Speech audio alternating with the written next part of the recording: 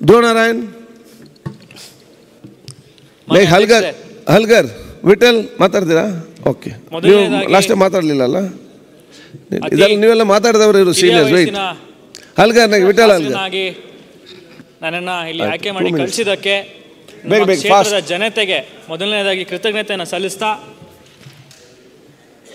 ನಮ್ಮ ನೆಚ್ಚಿನ ಮುಖ್ಯಮಂತ್ರಿಗಳು ಸಿದ್ದರಾಮಯ್ಯ ಸಾಹೇಬರು ಏನು ಒಂದು ಉತ್ತಮವಾದ ಬಜೆಟನ್ನು ಮಂಡಿಸಿ ಬಹು ಮುಖ್ಯವಾಗಿ S C P T S P ಆ್ಯಕ್ಟ್ನ section seven ಡಿನ ಸ್ಕ್ರ್ಯಾಪ್ ಮಾಡಿ ಈ ಹಿಂದೆ ಏನು ಮಿಸ್ಯೂಸ್ ಆಫ್ ಫಂಡ್ಸ್ ಆಗ್ತಾಯಿತ್ತು ಅದನ್ನು ತಡೆಗಟ್ಟಿದ್ದಾರೆ. ಅದಕ್ಕೆ ಅವರಿಗೆ ಅಭಿನಂದನೆಯನ್ನು ಸಲ್ಲಿಸ್ತಾ ನಮ್ಮ ಸರ್ಕಾರ ಏನು ಐದು ಗ್ಯಾರಂಟೀಸನ್ನು ಈಗಾಗಲೇ ಜಾರಿಗೆ ತಂದಿದೆ.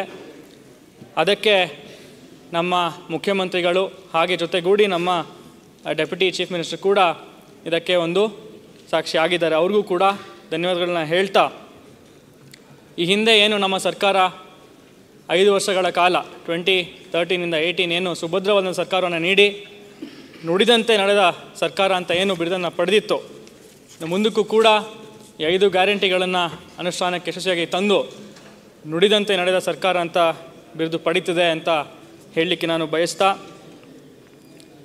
ಈ ಒಂದು ನಮ್ಮ ಕ್ಷೇತ್ರದಲ್ಲಿ ಕೂಡ ಅಧ್ಯಕ್ಷರೇ ಶಕ್ತಿ ಯೋಜನೆ ಅತಿ ಹೆಚ್ಚು ಫಾಸ್ಟ್. ಸಕ್ಸಸ್ಸನ್ನು ಪಡೆದು ಈಗಾಗಲೇ ಎಲ್ಲ ಬಸ್ಗಳು ಫುಲ್ಲಾಗಿ ಹೋಗ್ತಾ ಇದೆ. ಅದರಿಂದ ನಮ್ಮ ವಿದ್ಯಾರ್ಥಿ ವಿದ್ಯಾರ್ಥಿನಿಯರಿಗೆ ಅವರು ಸ್ಕೂಲು ಕಾಲೇಜಿಗೆ ತಲುಪಲಿಕ್ಕೆ ಅವರಿಗೆ ಸಮಸ್ಯೆ ಉಂಟಾಗ್ತಿದೆ. ಆದ್ದರಿಂದ ನಾನು ಇಲ್ಲಿ ಗಮನ ಸೆಳಲಿಕ್ಕೆ ಬಯಸ್ತೇನೆ. ಅಡಿಷ್ನಲ್ ಬಸ್ಸಸ್ಸು ನಮಗೆ ಬೇಕಾಗಿದೆ.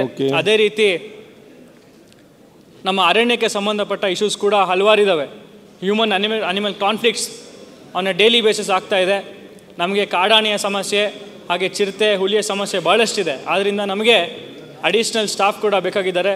ಜೊತೆಗೆ ಇಪ್ಪತ್ತು ಕಿಲೋಮೀಟರ್ಗೂ ಅದು ಅಧಿಕ ರೇಲ್ ಬ್ಯಾರಿಕೇಡ್ ಕೂಡ ನಮಗೆ ಅವಶ್ಯಕತೆ ಇದೆ.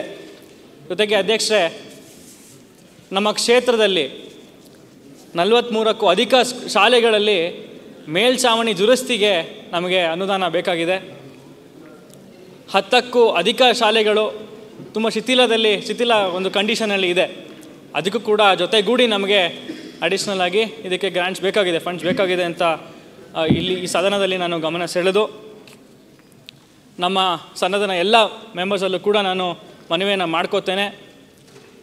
ಕರ್ನಾಟಕ ರಾಜ್ಯವನ್ನು ಒಂದು ಸುಭದ್ರವಾದ, ಒಂದು ಸುಂದರವಾದ ಸರ್ವ ಜನಾಂಗದ ಶಾಂತಿಯ ತೋಟವನ್ನು ಮಾಡಲಿಕ್ಕೆ ತಾವೆಲ್ಲರೂ ಕೂಡ ಸಹಕಾರವನ್ನು ನೀಡಬೇಕು ಅಂತ ತಮ್ಮೆಲ್ಲರೂ ಕೂಡ ಮನವಿಯನ್ನು ಮಾಡಿಕೊಂಡು ಗುಡ್ ಈ ಸಭೆಯಲ್ಲಿ ನನಗೆ ಮಾತನಾಡಲಿಕ್ಕೆ ಅವಕಾಶ. ಮಾಡಿ ಕೂಡ ಧನ್ಯವಾದಗಳನ್ನ ಹೇಳಿ ನನ್ನ ದೇವೇಂದ್ರಪ್ಪ